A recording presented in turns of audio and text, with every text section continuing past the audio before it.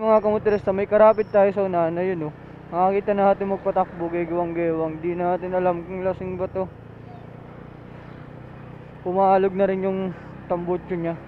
Sayang yung rapid di inalagaan. Oh, di ba? Nag-e-X sa kalsada. Sumisigsag. Kuya, wag mani wag magmaneho ng lasing mga kamotorista. Kung di kaya, pahingaw muna. Tulad nito, nagigawang-gewang. Kung di maaksidente to, makaka-aksidente. Kasi kanina, hindi na ako masagi. Kaya nagpahuli na lang ako.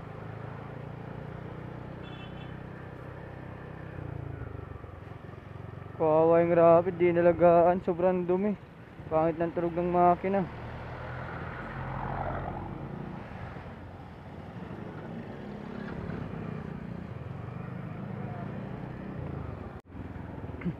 So nandito tayo ngayon mga kamotorista sa Mamatid, palabas tayo.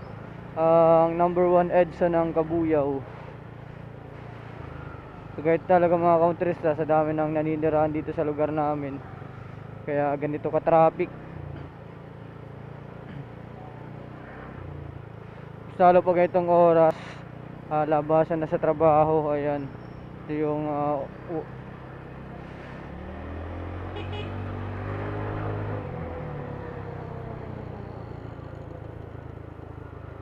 Nawala yung busina ko. Nawala yung busina.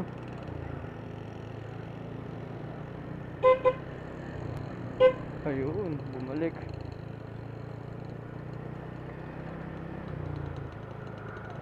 Lumakas na yung rapid ko.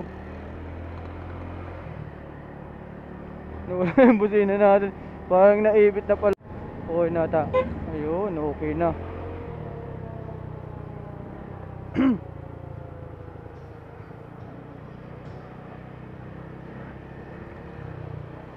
Upya! Ang dami talagang kamote sa panahon ngayon. Yun, may pandulo na. Thank you. So, ay mga kamotorista.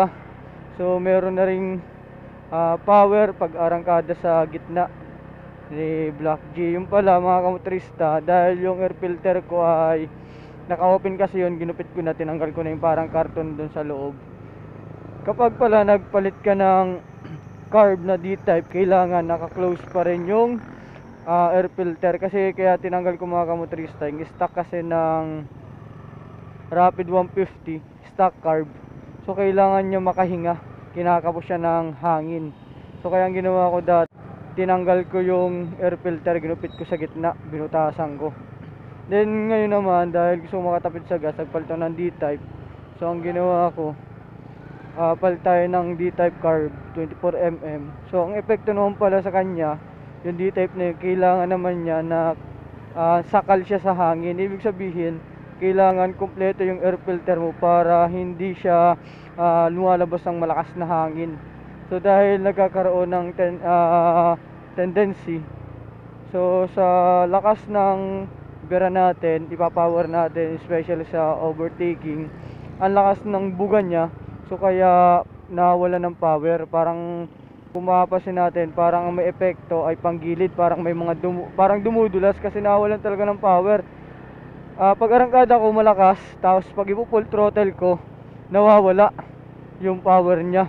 Parang ah, biglang humihina ah, motor natin. Yung pala sa sobrang lakas ng hangin kapag nag full power tayo full throttle so hindi makahinga di maka ah, arangkada ng ayos dahil sobrang ah, dami ng nilalabas na hangin so yung pala naging cause and then kanina punta tayo sa tropa nating mekaniko doon So ayun, sabi niya sa akin, sobrang laki daw ng binubugang hangin, sobrang dami. Kaya nawala ng power pagdating sa gitna. Kasi pag arangkada mga kamotorista, malakas. Yun nga lang, pag nag-overtake ka, ipo full power mo yung throttle mo, wala na. So biglang bumabagal. So yun pala yun. And nakuha ko yung solusyon. So nag-DIY muna tayo. Nilagyan ko ng Scotch Brite and nilagyan ko rin ng karton. So ayun tinapalan ko. Binutasan ko lang mga counterista yung karton para matakpan yung air filter natin. And then nakapatong dun yung Scotch Brite. So ngayon yung power goods na ulit. And then para hindi siya ah, sobrang sakal, yung apat na ton ay hindi ko inilock. So para may konting siwang pa rin na hingahan. Kasi nilagyan ko ng konting hingahan doon sa gilid. Para hindi naman sobrang sakal dahil karton ang nilagay natin. Alam naman natin, ah, yung karton kahit butas-butasan natin yan, malaki yung ah, impact niyan para hindi